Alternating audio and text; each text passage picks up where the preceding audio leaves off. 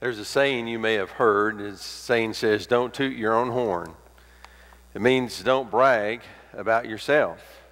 It's one thing to say something about yourself, it's another for someone else to say something about you. But when the Lord says something about you, it's true. And the Bible says of this man named Caleb that we began looking at last week that God said that he followed him with his whole heart. Today we're going to look at three things that this uh, man Caleb uh, did that God described him as. Not just somebody that followed him with his own heart. And we look at the character of Caleb and who he was, and we get a model for how we might live if we're going to follow the Lord with our whole heart. Numbers chapter 14, verse 24 is where we're going to look at. I want to ask you to join me in standing as we read this passage together. Numbers chapter 14, verse 24. Last week we were in the preceding chapter where uh, the spies went in, 12 went in, 10 came back with a negative report. But two men, Joshua and Caleb, says, "Let's trust the Lord. We can do it if the Lord gives us the land." And so now the people have rebelled, and that brings us to verse 24. God is speaking here, and he says, but my servant Caleb, because he has a different spirit and has followed me fully, I will bring into the land in, into which he went, and his descendants shall possess it. Let's pray together. Lord, I pray that we might have a different spirit like Caleb, that we would be your servants following you with all of our heart.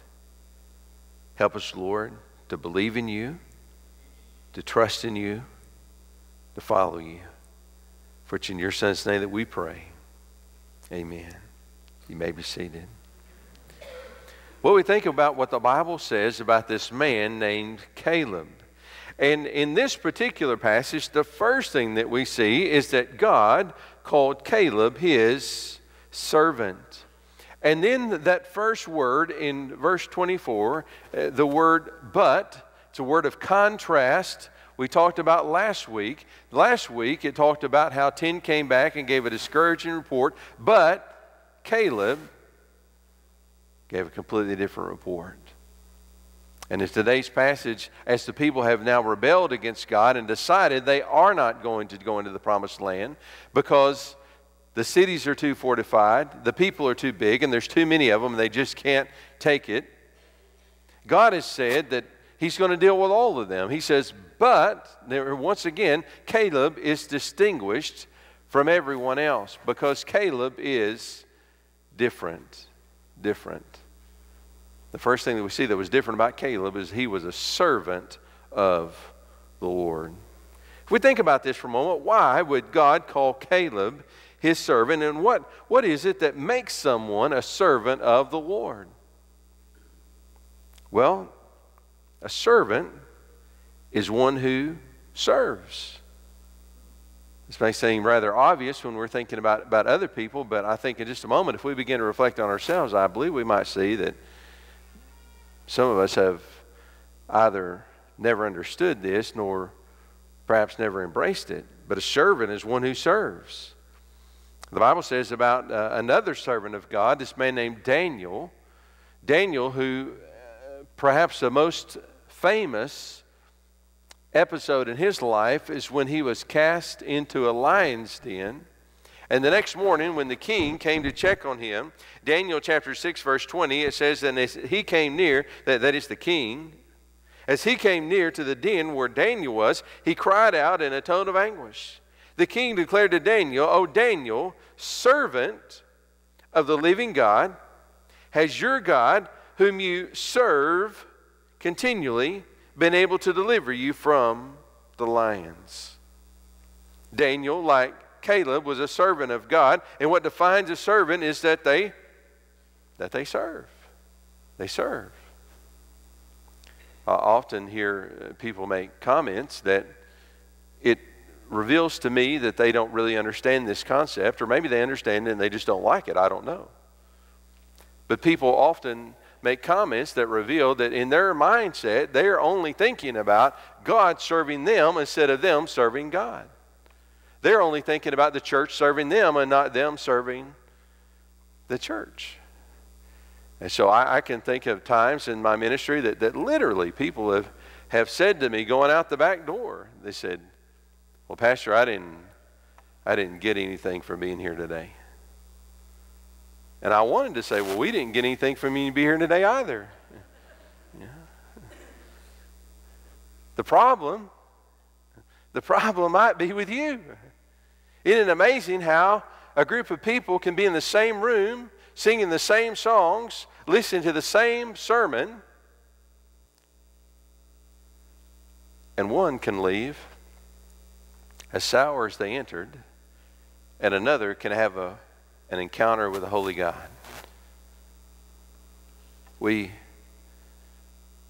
as servants, are called to serve, and we serve the Lord. And we serve the Lord often by serving other people. This was the case of Caleb. Think about who he was. The Bible says that he was, he was a chief of his tribe. Caleb was a man throughout his life had risen to a place of, of leadership. There were 12 tribes in Israel. And Caleb was a chief of the tribe of Judah. Judah, by the way, was at this time one of the largest of the tribes. Later, when the kingdom of Israel would split, Judah and Benjamin, a very small tribe, would make up an entire kingdom, and 10 tribes would make up the north. So, this, this great tribe of Judah, the tribe that Jesus would come from, Caleb had become a chief. And we look at other episodes in his life and we see that he, he was no dictator, he was no trust fund baby. Caleb had gotten there by earning the respect of the people. Caleb was a man who was a chief. He also served the people because he was a spy for Israel. We, we forget about this sometimes that when he went in to spy out the land, he embarked on a dangerous mission behind enemy lines. In fact, the Bible would tell us later, as another group went in, that they barely escaped with their lives. Yet this man Caleb, he, he went in on behalf of his tribe to represent the tribe of Judah and to spy out the land. He said, What does that have to do with serving God? Well, we, we cannot separate our relationship with God from our relationship with people. We serve God in part through serving people. In fact, Jesus once said, He said, What you do even unto the least of these, you've, you've done it unto me. He speaks of even giving a cup of cold water or visiting the sick or those imprisoned. And he said, You did it to me. Not that Jesus was ever sick, but that when we serve people in his name, we serve him. Caleb was a servant of God. He also served through obedience. When Caleb was told to go and to bring back a report, he did. Twelve spies went in, ten came back and said, There's no way we can take the land. Caleb didn't dispute how fortified the cities were, how many people there were, or how big they were. He just called the people to put their faith and trust in God. When Caleb was given a promise to possess the land, he believed God and tried to persuade the people. What is a servant? A servant is one who serves A servant is also someone who has a master. Jesus would say this about service in Matthew chapter 6 verse 24. He said, "No one can serve two masters." For either he will hate the one and love the other, or he will be devoted to the one and despise the other. You cannot serve God and money. Jesus taught us this concept that, that a servant serves a master, and you can't have two. As we think about where Caleb was,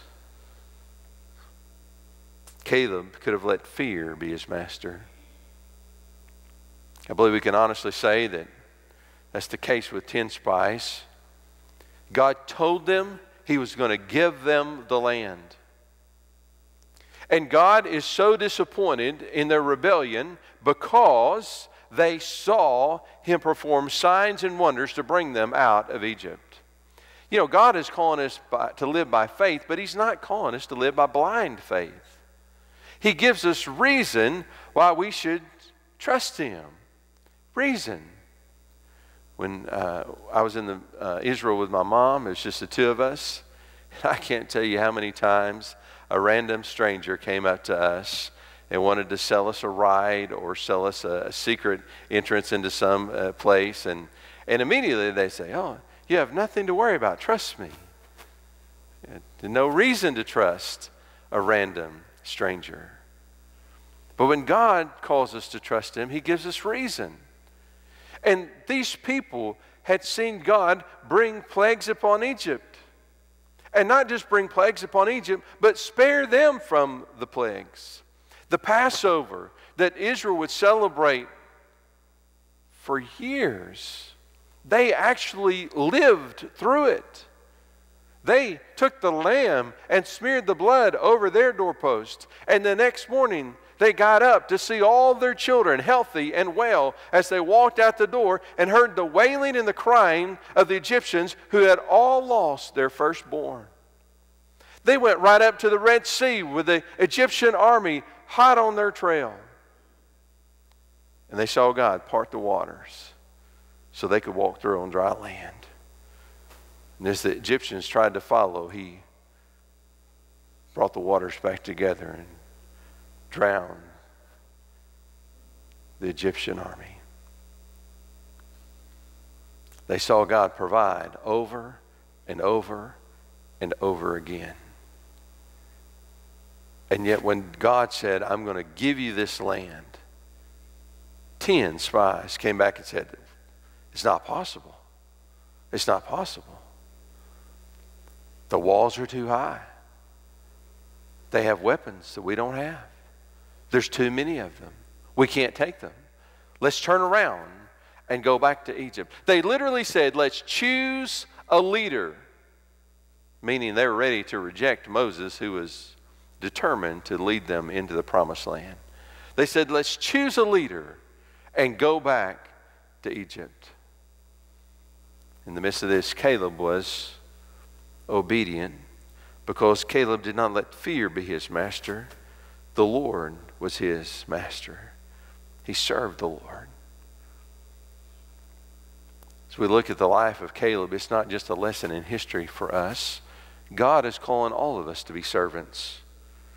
In fact, the pinnacle achievement of the Christian life is to be recognized as a servant of God.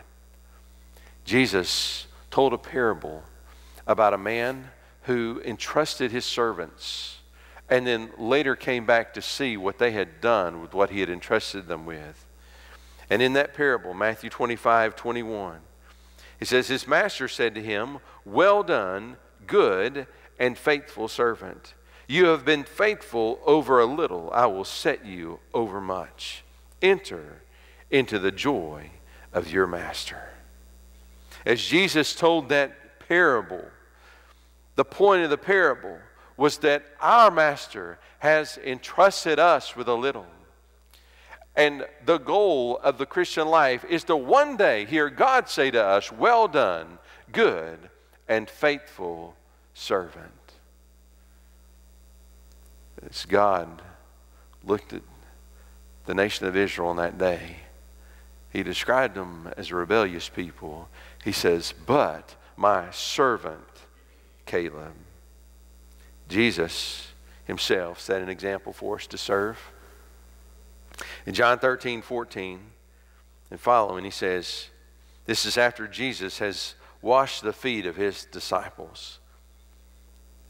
He said, If I then, your Lord and teacher, have washed your feet, you also ought to wash one another's feet.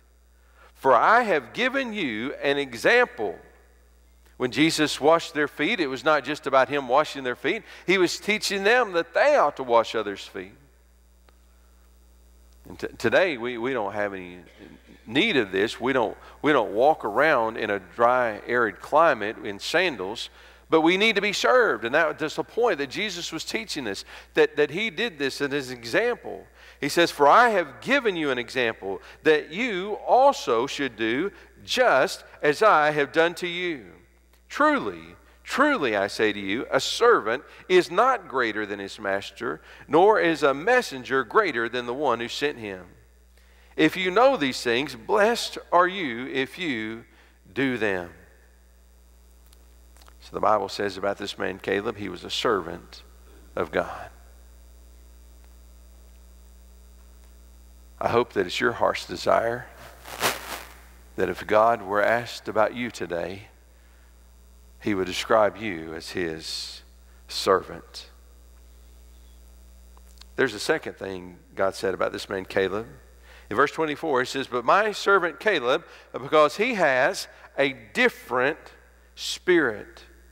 God said Caleb had a different spirit. I don't think he meant a spirit versus flesh. I think he was talking about Caleb's attitude, Caleb's outlook, Caleb's determination, Caleb's personality, who he was.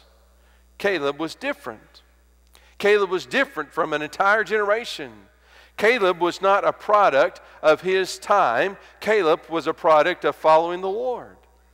So he had a different spirit. In the midst of a generation of doubters, Caleb had faith. When everyone else said, We can't take the land, Caleb said, God will give it to us. Verses 8 and 9, this is what Caleb said as he was trying to convince the people not to rebel. He said, If the Lord delights in us, he will bring us into this land and give it to us. Give it to us. And that's exactly what God would do 40 years later, after an entire generation was left to die off in the wilderness for their rebellion, he would literally give it to the people. When they went into Jericho, Jericho was this massive, heavily fortified city. And yet the Bible says that God told them to march around the city, blow the trumpet, send up the shout, and God caused the walls to fall. God gave them the city. And then, lest anybody think otherwise, shortly thereafter, they went and spied out this little tiny village named Ai. They came back and they gave a report and they said they don't have any defenses, they don't have many people. Let's not waste our time sending everybody up there. We don't need to. Just send a little band, we'll wipe out Ai. And yet, a man named Achan had rebelled against the Lord and took spoils from Jericho. And so God caused them to be defeated by, by Ai. After taking this massive city, Jericho, they were, they were beaten by this little village, Ai. Because the people were not taking the land, God was giving it to them. Caleb, in the midst of a generation of doubters, he he believed and trusted in God. And so he says in verse 9, Only do not rebel against the Lord, and do not fear the people of the land, for they are bread for us. The protection is removed from them, and the Lord is with us. Do not fear them. So Caleb, in the midst of a generation of doubters, he had faith. In the midst of a generation of complainers, Caleb knew that the Lord was good earlier in this chapter, in chapter 14, it says, And all the people of Israel grumbled against Moses and Aaron. And the whole congregation said to them, Would that we had died in the land of Egypt, or would that we had died in this wilderness. Why is the Lord bringing us into this land to fall by the sword? Our wives and our little ones will become a prey. Would it not be better for us to go back to Egypt? And they said to one another, Let's choose a leader and go back to Egypt. This, this entire generation of Israel, this would characterize the rest of their lives. They were people who constantly grumbled and complained because they doubted the character and nature of the Lord. And yet, in the midst of this, Caleb knew that the Lord was good. If you base your understanding of who God is on circumstances, you'll find yourself up and down, up and down. We all have emotions, and we all have varying seasons of life. And Caleb, he looked beyond his circumstances. He looked beyond the size of the walls or the scope of the people. And he put his faith and his trust in the character of God. Caleb had a different spirit. In the midst of a generation of complainers, he knew the Lord was good. And in the midst of a generation of quitters, Caleb stayed the course. You know, Israel, we think about their lack of persistence. As God had brought them out of Egypt, they couldn't even wait for Moses to come back down from Mount Sinai before they had already made an idol to worship. And yet, Caleb, uh, this, this courageous report is not just one mere isolated event in his life. This is not just one single high point in which he did what was right. Caleb, for all of his life, would follow the Lord. Forty years he would wander in the wilderness, bearing the consequences of everyone else's rebellion as they each one died off, and God raised up another generation. And yet, 40 years later, Caleb would still be believing and trusting in the promise of God. God said Caleb was his servant. He said he had a different spirit, but I want you to notice something else. He said, But my servant Caleb, because he has a different spirit and has followed me fully, has followed me fully. Someone once said, a half truth is a whole lie. There's a lot of truth in that. So I think about what God says about fully following Him, wholehearted following the Lord. Half hearted obedience is wholehearted rebellion. We don't have the option to choose which areas of life we will submit to God. Caleb, who followed every command as the Lord gave him was a man who God said followed him with his whole heart. I think about by contrast the first king of Israel, Saul. The Bible tells us about the time when Saul and Samuel would Samuel was the, the prophet of God in Saul's day. It tells us about when Saul and Samuel would, would part ways because of Saul's lack of obedience. The Bible says in 1 Samuel chapter 15, verse 17, and Samuel, who's the Old Testament prophet, said, Though you are little, he's speaking to Saul now, though you are little in your own eyes, are you not the head of the tribes of Israel? The Lord anointed you king over Israel. And the Lord sent you on a mission and said, Go, devote to destruction the sinners, the Amalekites and fight against them until they're consumed. Why then did you not obey the voice of the Lord? Why did you pounce on the spoil and do what was evil in the sight of the Lord? And Saul said to Samuel, I have obeyed the voice of the Lord. I have gone on the mission on which the Lord sent me. I have brought Agag, king of Amalek, and I have devoted the Amalekites to destruction. But the people took of the spoil, sheep and oxen, the best of things, devoted to destruction, to sacrifice to the Lord your God in Gilgal. God told him these people were in rebellion. He was going to be the instrument of his judgment. He said, You're to wipe them out, you're to take nothing. And he wiped them out, and they took everything that was good. And then when Samuel confronts him, Saul tries to make it spiritual. And he says, Well, we only took the cattle so we could offer them to the Lord as sacrifice. We always have the ability to justify our sin and our rebellion if we so choose.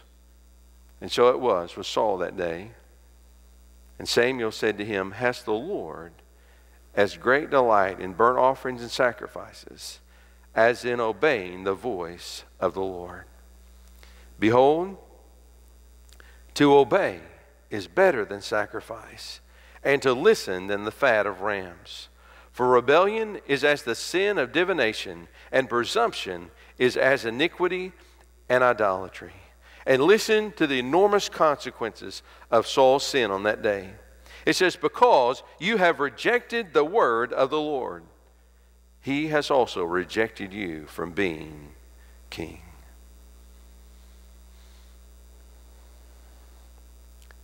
Saul was a man who half heartedly followed the Lord because he half heartedly followed. From the Lord's perspective, he was in complete rebellion. The Bible says about this man, Caleb, who was not like Saul, that he followed the Lord with his whole heart. His whole heart.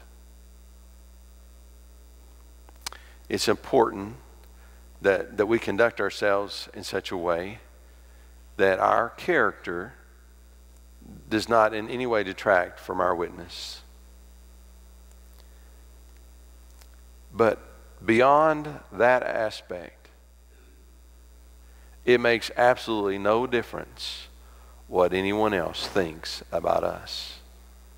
No different. People may think you're an absolutely extraordinary person. People may think that you are a fine and wonderful Christian. People may even think that you're following the Lord with your whole heart.